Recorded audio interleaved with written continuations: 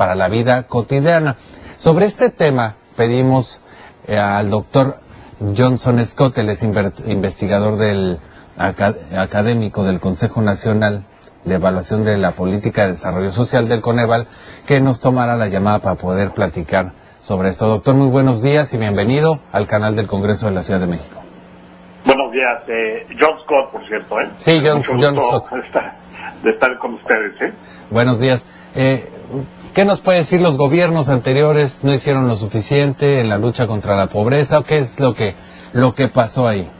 Bueno, la, primera eh, noticia que creo que vale la pena destacar es que por primera vez eh, tenemos una serie de 10 años estable y, comparable en el tiempo de pobreza multidimensional, ¿no? Ese es más allá del dato puntual de este año, lo que podemos ver justamente para hacer el tipo de preguntas como la que me acaba de hacer, podemos eh, eh tener los datos para para para poder ver eh, todo el todo, todos los 10 años, ¿no?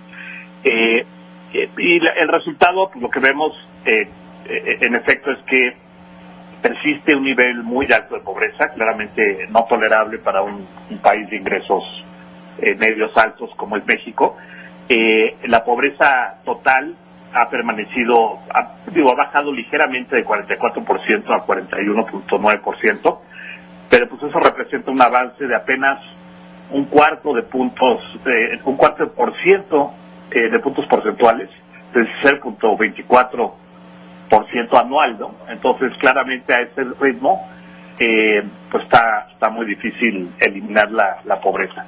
Y la pobreza extrema, afortunadamente, esa sí ha bajado eh, un poco más, ¿no? Pasó de 11 eh, en el 2008 a 7.4 en el 2018. Eh, y entonces ahí sí hay un avance. La lección creo es que cuando uno ve esta medida, la ventaja que tiene es que uno puede ver cuáles de los componentes de la pobreza multidimensional explican estas tendencias y dos son particularmente importantes, ¿no? Uno es el ingreso de los hogares, ¿no? la, la pobreza por ingresos, por ejemplo, la pobreza por ingresos extrema, ha permanecido, era 16.8% en el 2008 y es 16.8% en el 2018. Entonces ahí, ahí hay un gran reto para las políticas públicas, eh, ciertamente no nada más para las políticas sociales, sino para la política económica eh, y todo lo que afecta el ingreso a los hogares. Y segundo, eh, la seguridad social, ¿no? La seguridad social, la, el acceso a la seguridad social en México sigue siendo muy limitado, ¿no? Más de 70 millones de personas todavía carecen de ese, de ese beneficio y eso es lo que explica un poquito la persistencia de estas cifras. Doctor, la mala distribución de la riqueza es parte de la causa de este problema y esto haciendo referencia a las declaraciones que hacía el presidente López Obrador de, en cuanto a diferencia de crecimiento y desarrollo. Sin duda alguna, eh, el, eh, una de las cosas que también eh, se puede destacar con estas medidas es que hay, hay brechas enormes entre los estados ¿no? Tenemos estados como Chiapas, Oaxaca, Guerrero, que tienen tasas de pobreza pues del orden de 76% en el caso de Chiapas, eh, 66% en Oaxaca y, Guerrero. Y además tenemos, entonces hay brechas muy grandes entre el sur, sureste y el resto del país. Y por otro lado hay brechas todavía mayores entre poblaciones rurales y sobre todo poblaciones indígenas, eh, y sobre todo mujeres de poblaciones indígenas, y el resto de la población. ¿no? Para darte un ejemplo bien dramático, la, la tasa de pobreza extrema en mujeres indígenas es del orden de 45%, eh, mientras que la tasa de pobreza extrema en hombres en zonas urbanas, eh, no indígenas, es, del, es menor al 4%. Entonces estamos hablando de una, en el mismo país tenemos una brecha de 10 veces. Si tú tuviste, si tú naciste en un grupo, en una zona geográfica del país eh, o en otro, ¿no? Entonces sí, ese es un gran reto, ¿no? La persistencia de estas brechas. Eh, estos datos pues permiten ver a qué grupos, en qué zonas eh, hay que focalizar los recursos. Sin duda, estamos platicando con el doctor John Scott, él es investigador académico del Coneval. Doctor, eh, entonces podríamos decir que pues este combate a la pobreza, este, programas como el en el que se relaciona la estafa maestra que encabezó este Rosario, Rosario Robles, pues era toda una simulación. Bueno, eh, yo no diría eso. El, el, eh, lo que tenemos evaluaciones eh, de los programas a lo largo de los años, eh, la segunda gran función de Coneval es, es evaluar la política pública, que es esencial para ver si los recursos eh, funcionan o no. Y, y hay, hay estos, digo, lo de la estafa era para, entiendo, para proyectos particulares, ¿no? En el caso de los programas, eh, eh, pues, eh, hay, hay de todo, ¿no? Hay programas que han funcionado, hay otros que no.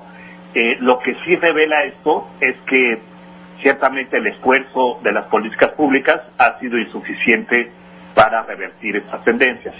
Y eso pues, lo que refleja en, en parte pues, es que uno es que, que, es un problema de crecimiento económico y como sabemos, pues el crecimiento económico ha sido modesto y en efecto ha sido desigual, ¿no? No se ha traducido el, el poco crecimiento que ha habido no se ha traducido en mejores salarios y sobre todo en mejores salarios para las poblaciones más pobres. Entonces hay un problema de crecimiento, hay un problema de distribución, estructurales y luego además, eh, pues si uno ve el esfuerzo presupuestal, el esfuerzo fiscal que se hacía y que se hace hasta la fecha, ¿no? Todavía realmente el país eh, gasta eh, eh, bastante menos que, que países, eh, que otros países de la OECD, por ejemplo, países comparables en el, en el eh, cono sur de la región, en eh, transferencias y en inversión eh, en la población más pobre. Entonces todavía hay un gran reto de gasto y también, obviamente, eh, en la medida en que ese gasto se fortalezca, que esperamos suceda en los próximos años, pues se vuelve bien importante asegurar, en efecto, que ese gasto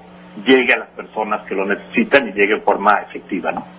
Sí, me hacía referencia a lo de la estafa maestra porque pues uno de los programas era este de la Cruzada Nacional contra el Hambre, que de ahí salen algunos recursos. Doctor, usted como especialista eh, eh, en estos temas, en estas cifras, ¿la tendencia seguirá siendo la misma o las políticas ahora puestas en marcha por la administración del presidente López Obrador, pues sí le darán un giro a, esta, a, estas, a estos números?